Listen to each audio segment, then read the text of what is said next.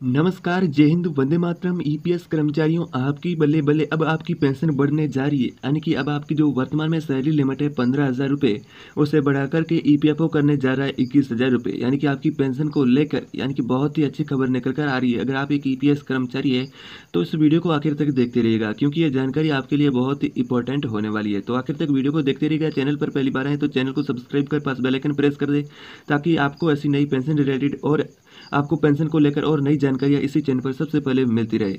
एक उच्च स्तरीय समिति ने कर्मचारी भविष्य निधि संगठन ईपीएफओ के तहत वेतन सीमा को मौजूदा पंद्रह हज़ार रुपये से बढ़ाकर के इक्कीस हज़ार रुपये प्रतिमाह करने का प्रस्ताव दिया है। हालाँकि समिति ने कहा है कि सरकार सभी प्रस्तावों पर विचार करने के बाद पिछली तारीख से बढ़ोतरी दर को भी लागू कर सकती है।